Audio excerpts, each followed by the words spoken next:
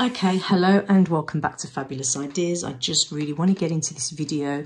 I told you from the video that I put out yesterday that these these um, items are from a kit that I got from the Little Crafty Bugs. I'll also put their website again in this video. Today I'm going to be cracking on with the Nutcracker. So yeah, so I'm just going to open it up it's only a little one. Oh, didn't even see that in there, but you get a little fluffy bit as well, which is really handy. Um, okay, so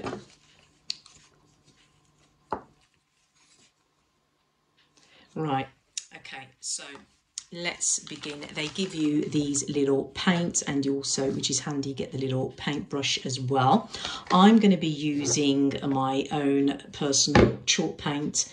Um, I've just got white here and I'm just going to be using that just to give it one coat of white. And I've just put this plastic sheet underneath so we don't make a mess on the table and I'm just going to paint it white.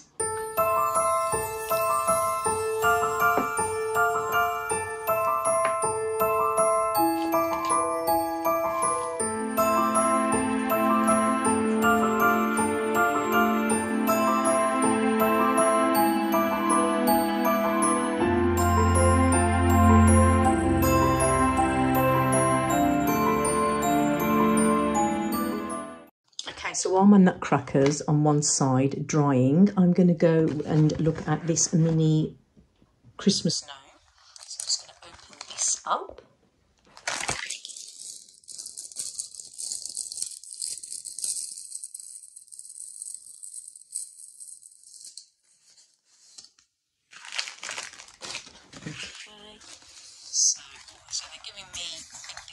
Be like maybe the shape of the hat. This is the mould of the Christmas gnome. And you can see here, um, there's like a step by step. Obviously, number one's at the top here. If you can have a look. so we can see that there's number one. Um, and then there's step two and step three We'll be doing the hat and yeah so you get all of the felting you get the also get the little, um, and you can see the way that they've stuck the little needles inside. That's really handy. And then you've got the um, beard already pre-done, so that's great. Looks like almost mohair. And then you've got his little nose here. So yeah, I think the only thing we need to do is wrap around the body and do the hat and to use a glue gun to stick his beard. So it's practically really easy. Again, great for beginners. Okay.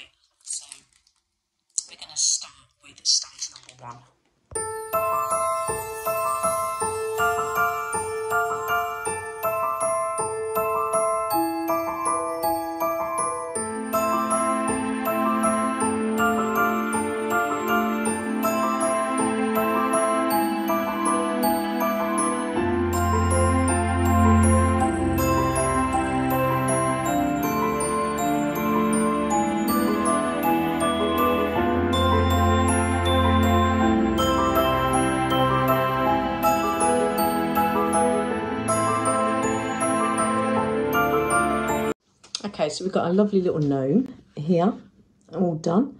And I'm going to now proceed with um, gluing the beard and you can see the little patch here.